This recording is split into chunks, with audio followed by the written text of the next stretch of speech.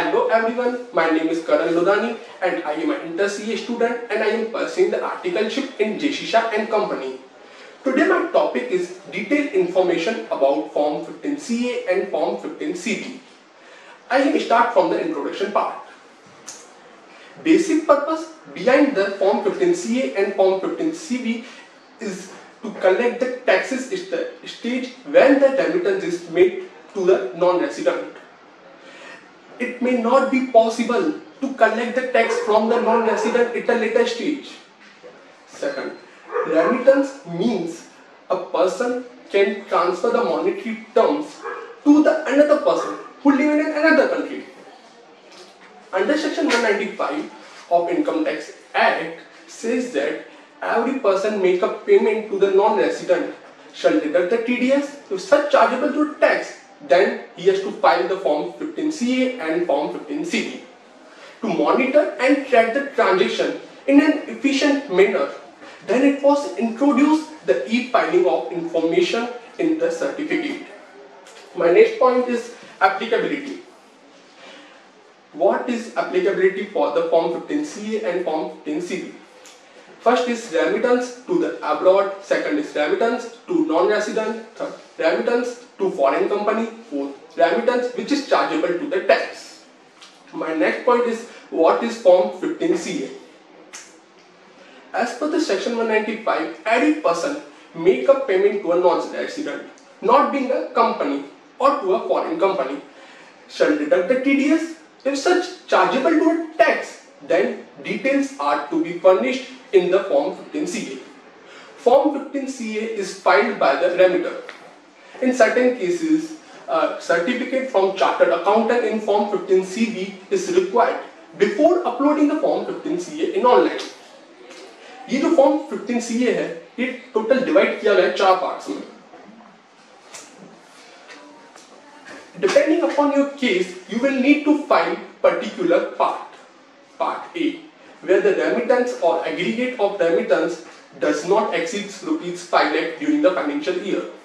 Second, part B, where the remittance or aggregate of the such remittance exceeds 5 lakh during the financial year. And order or certificate under section 195 subsection 2 and 195 subsection 3 and 197 of the income tax. This section is relevant to the lower TDS or nil TDS Part D, where the remittance is not chargeable to the tax under the Income Tax Act. आगे हम जानते हैं कि form 15 CB क्या है form 15 CB is certificate to be furnished by the chartered accountant in case where the payment exceeds rupees 5 lakh during the financial year and payment made to the non-resident not being an Indian company or a non-resident person or a foreign company. This, and also to be said that the certificate from the assessing officer has not obtained for lower TDS or nil TDS. In Form 15CB, Chartered Accountant certify the details like details of the payment of the remittance, TDS rates, TDS deductions, details of nature and purpose of the remittance and whether DTA is applicable. आपको मैं बताना चाहता हूँ DTA के बारे में DTA is a tax treaty entered by the government of India with another country. Currently, India has DTA agreement with 86 countries in the world. मैं आपको एक example देना चाहता हूँ For an example mister Rohit resident in India and earn the income in suppose he earns rupees 5 lakh rupees. So in this situation, he has to charge the tax in India basis of the residential And he has also to get charged in USA basis on the source of the income. So in this situation, we can say that double tax has been linked on the same income.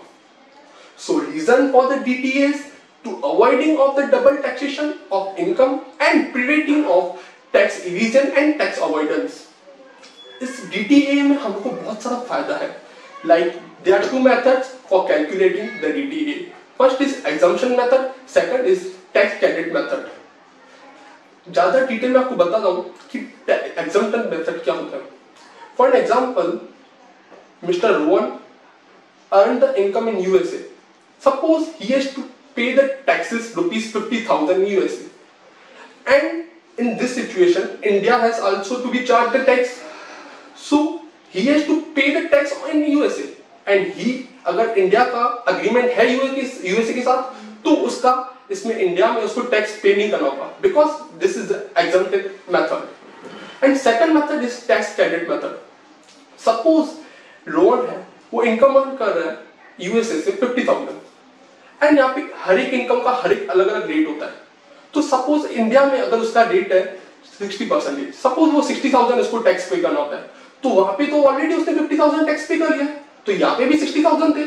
तो इसलिए अगर DT agreement है India और US के साथ तो in this situation already paid a tax of ₹50,000 in USA and in this tax credit method he has only paid ₹10,000 in India because total tax is 60,000 my next point is mandatory information required for form 15 CA and form 15 CB first is details चाहिए होते हैं remitter की first name of the remitter address of the remitter PAN number of the remitter's principal place of the business of the remitter, email address and phone number of the remitter, status of the remitter, whether it is a firm, company, partnership firms, others. And also अगर remitters अगर pay करता है तो remitter की क्या क्या detail चाहिए थी बैंक की वो भी मैं आपको बता देता हूँ first name of bank of the remitter second name of the branch of the bank third DSR code of the bank अभी नेक्स्ट पॉइंट बात करना चाहता हूँ रेमिटी की क्या क्या डिटेल्स एंड डॉक्यूमेंट चाहिए होता है name and status of the remedy, address of the remedy, country of the remedy, place of business of the remedy. अगर इंडिया एंड यूएसए के साथ डीटीए अग्रीमेंट है तो form 10F is duly filed by the authorise person of the remedy कि अगर ये agreement दिया है अगर उसने जो जो इंफॉर्मेशन हमको दी है रेमिडी ने तो whether it is correct it is authorise by the authorise person of the remedy and second point is tax residency certificate अगर सपोज़ रोहन इनकम अर्न कर रहा है यूएसए से तो ऑलरेडी वहाँ पे इनकम अर्न कर रहा है तो टैक्स भी वहाँ से डिडक्ट करते ही होंगे तो वहाँ की गवर्नमेंट उसको इश्यू करके देगी tax residency certificate third certificate that remedy does not have permanent establishment in India कि वो इंडिया का रेसिडेंट नहीं है. He lived in USA next point